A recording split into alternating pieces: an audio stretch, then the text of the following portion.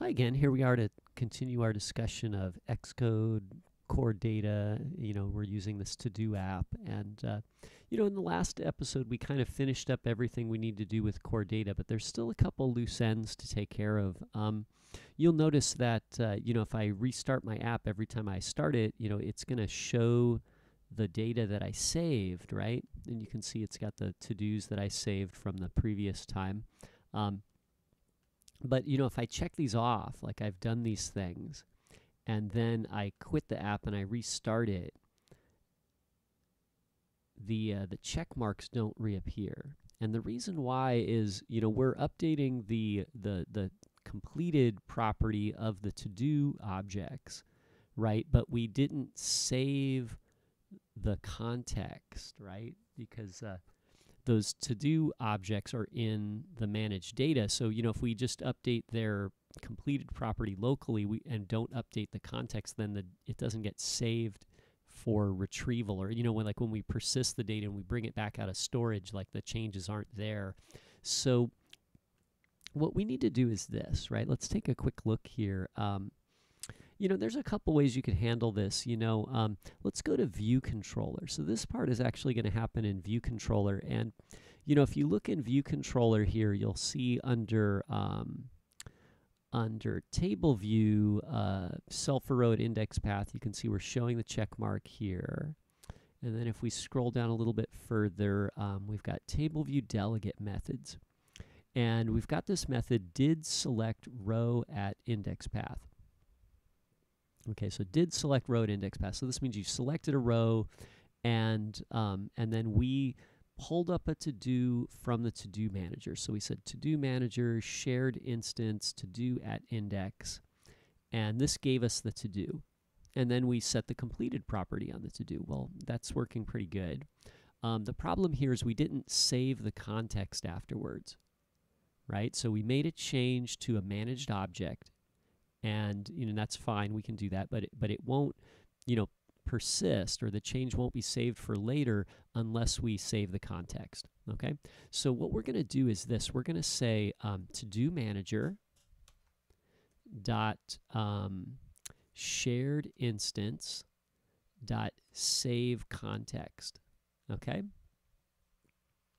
so this is the one thing that's going to happen outside. You know, I tried to keep everything inside To Do Manager, and we could actually make this uh, To Do, you know, completed property. We could make that change in To Do Manager, but that seemed a little bit convoluted. So I'm just going to do it here because this is a pretty simple little step, right? Just one extra line of code here. Um, I know that's we're slipping down the slippery slope there, but uh, anyway, so we just make one little change here and then that should hopefully persist our our our you know completed property right? So let's give it a test. Um, I'll click the the run button. And then you'll see my to-dos show up. And you know I brushed my teeth today and I ate my breakfast but I did not tie my shoes. So I'll check those two. And then I'll stop the the app. And then I'll rebuild and run it again and then these two have the check mark and the other one doesn't have the check mark. So that's working pretty good, right? And then I could check this one and uncheck the other one. And then we'll stop it and run it again. And then hopefully it remembers, yeah, and then it's got these two items, right? So there you go. So that that should, you know, totally complete the um, the to-do app. Um, you know, and I hope that was useful and interesting for everybody. Um, you know, there's a lot more that we can do with that, and I'll I'm going to add some more videos of just little things that we can add to our project to make it more interesting. Um, but this should complete like the base project, right? So this is like the basic project that we're creating. Um, you know, it's got to do items, they get persisted into storage, and then we pull them up out of storage and then um, you know it lists them in the table view and we can set their properties or add new items or remove items from the table view. Um, let's actually check on removing an item. I didn't check that yet. Let's I forgot to do that. Let's let's do that here too. So uh, maybe you know there's no reason to uh, oh you know I didn't do the remove item. Let's let's actually do that. So um, we didn't add that feature yet. So here's what we're gonna do right? Let's go to uh, view controller Swift and what we want to do is we want to do, um, we're going to go down here to uh, table view delegate methods. And what we want to add is we want to type in, just start typing table view. And what we want is we want um, uh, can edit row at index path. Okay, so can edit row at index path. Okay, and what's happening here is the table view is going to send the delegate a method to say, to ask the question, can you edit the row at this particular index path? So something happened in the table view at one of the rows, and table view is going to ask the controller, can you edit that row? And so this function returns a Boolean, true or false, right? It's going to return true, yes, that row can be edited, false, the row cannot be edited. Okay, so what we're going to do here is we're just going to return true. Okay, all the rows can be edited. Okay, so that's that's good. That doesn't quite complete the whole process though. Okay, so we we're going to say yes, you can edit rows, but now we have to say, you know, how they can be edited. So we'll say table view, and the one we want this time is called commit editing style. Okay, so commit editing style. Okay, and um, so table view commit editing style, and then it's going to tell us, you know, if you read this, it's going to say um, commit editing style. Let me put a line return here and here. And you can see that this function is actually called table view commit editing style for row at, at index path. So what it's going to do is it's going to ask us like, hey, you know, are you going to commit to this particular editing style? And then it's going to give us the editing style, okay, which is a special type called table view cell editing style, right? And then it's going to say which index path, like which row in the table view can be edited. And, and then the style that you're trying to edit it. So the style is like what you're trying to do. Okay, so delete is actually the style we're looking for.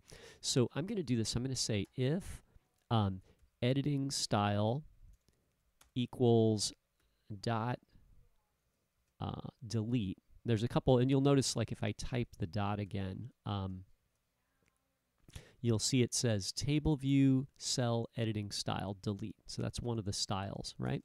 So we'll choose that one. And so if the style is delete, then what we'll do is we'll want to remove that cell at the at that index path from the array because remember the index path has the row number and the row number matches up to the index in the array.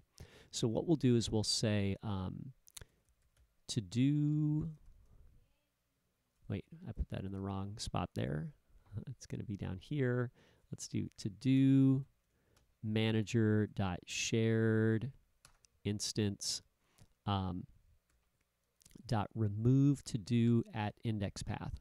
Okay, and then we'll say um, index path dot row. Okay, and so this removes the to do from the um, from the database, but we also need to remove the um, the to do from, or we need to remove that particular cell from our um, from our table view. And what we're going to do is we're going to do that first. Or no, actually, we're going to do that second. Yeah, I forget. One, it crashes one way, and then it does. It works fine the other way. So I, I think we remove this one first. No, I think actually, wait. Yeah, we do it the other way. We got to remove the cell first, and then we're going to remove the um, the thing. And if it doesn't work, we switch them around. So anyway, so let's uh, let's remove the cell. So what we're going to do is we're going to say table view. Uh, dot um, delete rows at index paths. Okay, so pay attention to this one. It says delete rows at index paths, right? So it says, you know, the S means multiple, right? So and if we look carefully, this says index paths with an S, and then it has the square brackets. So that's really an array of index paths. So when we do delete rows at index paths, it actually deletes multiple rows.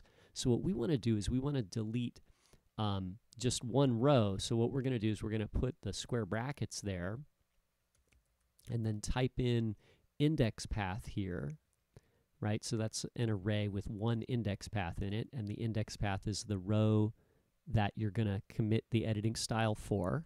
right? And then it also gives us the option here to say, you know, with animation, right, with row animation. And so this UI table view row animation can be any one of the built-in row animations. And there's a couple, I'll do um, dot left, right? Um, so we'll say uh, dot left, and that, that means the, the row will slide off the screen to the left, okay? So we'll, uh, we'll test this here. Some reason, I think I got this backwards. We'll, we'll fix. It'll crash, and then we'll fix it. So anyway, um, we'll test it here, and uh, any moment now, it will start up again. Hopefully.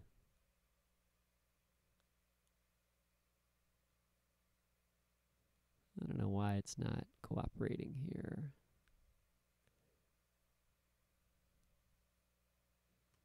Wait, let's click again.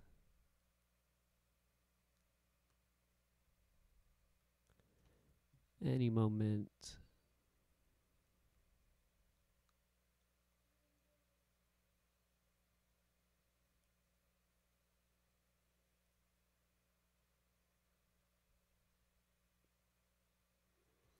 Hmm, what is going on there? Wait, let's try it again.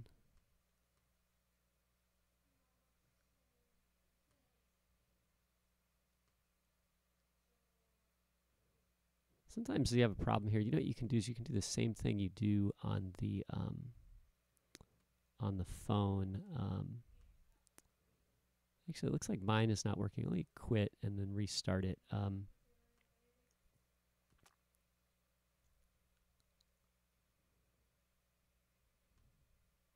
there it goes.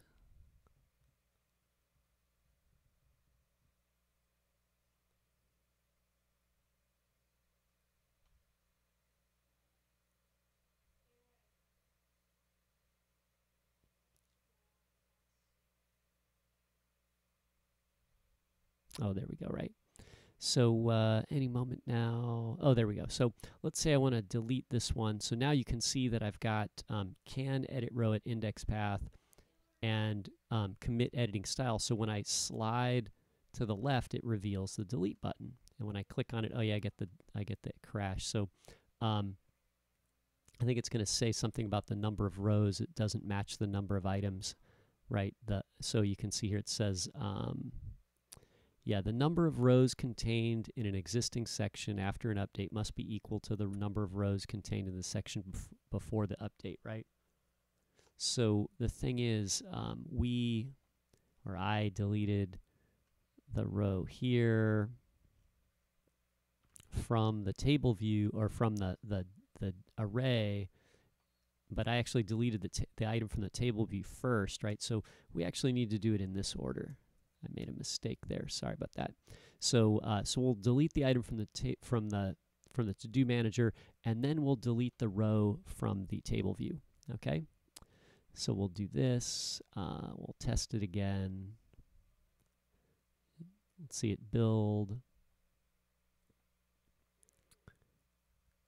And then we'll delete tie shoes and it slides off to the left and there we go. And we'll add another one. Maybe we'll just call this one A save it, add another one, call it B, and save. And there you can see those. I can complete these guys, and then maybe I can delete this B one. And then if I stop and I come back, then hopefully those ones we deleted won't be there because they got removed. Oh, there we go. So it looks like everything's working. So anyway, so there you go. So yeah, just remember, don't make my mistake. Um, we need to remove the items from our data source first and then remove the cell for that item from the table view second. Okay, and thanks for watching, and I hope that's um, useful to you guys. And uh, great.